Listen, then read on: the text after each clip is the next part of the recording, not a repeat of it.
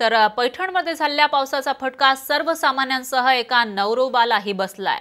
त्याला लग्न मंडपामध्ये पोहोचण्यासाठी तब्बल तीन किलोमीटर पायपीट करावी लागली आहे पाहूयात. चिखलातून आली नवरदेवाची वरात.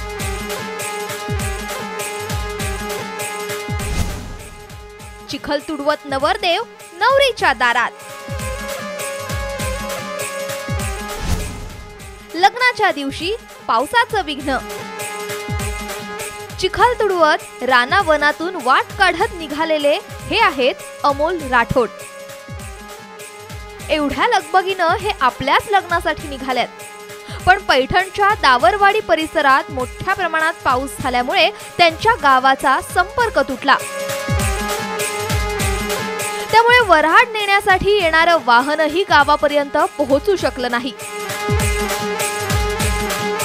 म्हणून वेळेत विवाहस्थळी पोहोचण्यासाठी खुद्द नवरोबांनाच वऱ्हाडींसोबत पायपीट करावी लागली.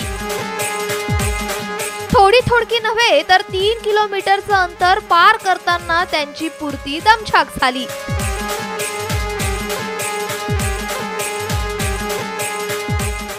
संध्याकाळी थोडं रिमझिम पाऊस झाला होता आणि सकाळी समजा माझं लग्न ठरलेलं होतं तर मला खूप इतकी अडचण आली की मला तीन ते चार किलोमीटर मला पै जावं लागलं शेतातून चिखलातून.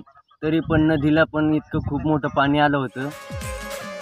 एरवी हे पावसाळा आला की या परिसरातील लोकांना तारेवरची कसरत करावी लागते.